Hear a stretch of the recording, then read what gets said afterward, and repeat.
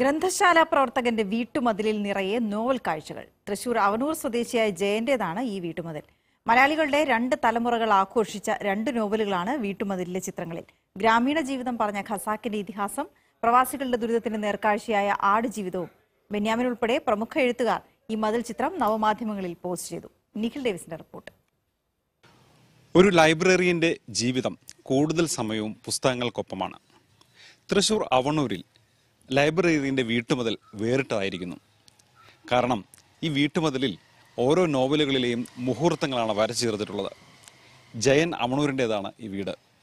ജയൻ അമണൂരിന്റെ സുഹൃത്തു കൂടിയായ ആർട്ടിസ്റ്റ് സജീവനാണ് ഈ ചിത്രങ്ങളെല്ലാം വരച്ചത്. പ്രധാനപ്പെട്ട നോവലുകളിലെ മുഹൂർത്തങ്ങളാണ് ഓരോ ചിത്രങ്ങളായി വീട്ടുമുതലിൽ രേഖപ്പെടുത്തിയിട്ടുള്ളത്. എഴുത്തുകാരൻ ബെന്യാമിൻ ഈ വീട്ടുമതിലിനെ കുറിച്ച് സ്വന്തം ഫേസ്ബുക്ക് പോസ്റ്റിൽ പറയുന്നു. പല പ്രമുഖരും ഈ വീട്ടുമതിലിനെ വളരെയധികം പുകഴ്ത്തി സമൂഹ മാധ്യമങ്ങളിൽ പോസ്റ്റ് ഇട്ടിരിക്കുന്നു. ആ വീട്ടുമതിലിലെ കാഴ്ചകളാണ് ഇനി കാണേണ്ടത്. എന്തുകൊണ്ടാണ് വീട്ടുമതിലിൽ ഇങ്ങനെ ചിത്രങ്ങൾ വരച്ചത്? ജയൻ അവണൂർ തന്നെ അക്കാര്യങ്ങൾ പറയും. വീടിന്റെ മതിൽ വെള്ളമടിക്കണം എന്നുള്ളൊരു ഐഡിയ വന്നപ്പോൾ എന്റെ പ്രിയപ്പെട്ട സുഹൃത്ത് ആർട്ടിസ്റ്റ് സജീവനോട് ഞാൻ പറഞ്ഞു കാഴ്ചക്കാർക്ക് വഴി വഴിയാത്രക്കാർക്കും കാണുന്നവർക്കും കൗതുകമുണ്ടാവുന്ന രീതിയിൽ വെറും വൈറ്റ് വാഷ് അല്ലാതെ എന്തെങ്കിലും കൗതുകകരമായൊരു കാര്യങ്ങൾ താങ്കൾ ചെയ്തോളൂ എന്ന് പറഞ്ഞു. പക്ഷേ എന്റെ മനസ്സിലത്തെ ആഗ്രഹം അറിഞ്ഞുകൊണ്ട് തന്നെ ഒരു ഗ്രന്ഥശാല പ്രവർത്തകൻ എന്ന രീതിയിലും പുസ്തകങ്ങളെ പ്രണയിക്കുന്ന ഒരു സുഹൃത്ത് എന്ന രീതിയിലും എന്റെ മനസ്സ് അറിഞ്ഞുകൊണ്ട് തന്നെ ഒരുപാട് ആശയങ്ങളുമായിട്ടാണ് സജീവൻ പിന്നെ വന്നത്.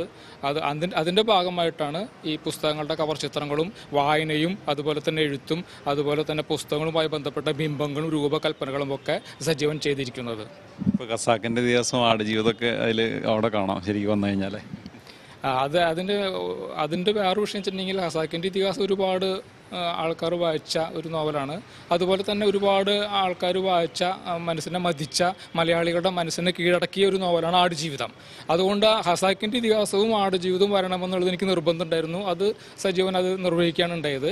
പിന്നെ കുമാരനാശാന്റെ കരുണയും അതുപോലെ തന്നെ എം ടി വാസുനാരുടെ രണ്ടാം മുഴുവും പിന്നെ പുസ്തകങ്ങളുമായി ബന്ധപ്പെട്ട രൂപകൽപ്പനകളും ബിംബങ്ങളുമാണ് ആവിഷ്കരിച്ചിരിക്കുന്നത്. ഇത് ഞാനൊരു നിമിത്തം മാത്രമാണ് അല്ലെങ്കിൽ ഇതിന്റെ വീടോ എന്റെ ചുമരൊക്കെ ഒരു നിമിത്തം മാത്രമാണ് അതിന്റെ ഫുൾ ക്രെഡിറ്റ് ആർട്ടിസ്റ്റ് സജീവനാണ്. ബെന്യാമൻ ഫേസ്ബുക്കിൽ പോസ്റ്റ് ഇട്ടിട്ടുണ്ടായിരുന്നു.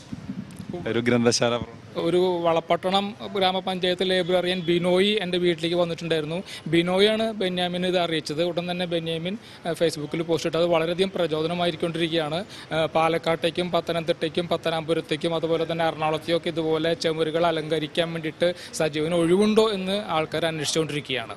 ജയൻ അമണൂരിന്റെ വീട്ടിലെത്തിയാൽ മലയാള സാഹിത്യത്തെ സ്നേഹിക്കുന്ന ആളുകൾക്ക് സംബന്ധിച്ചിടത്തോളം നിരവധി നോവലിലെ മുഹൂർത്തങ്ങൾ അടുത്തറിയാം.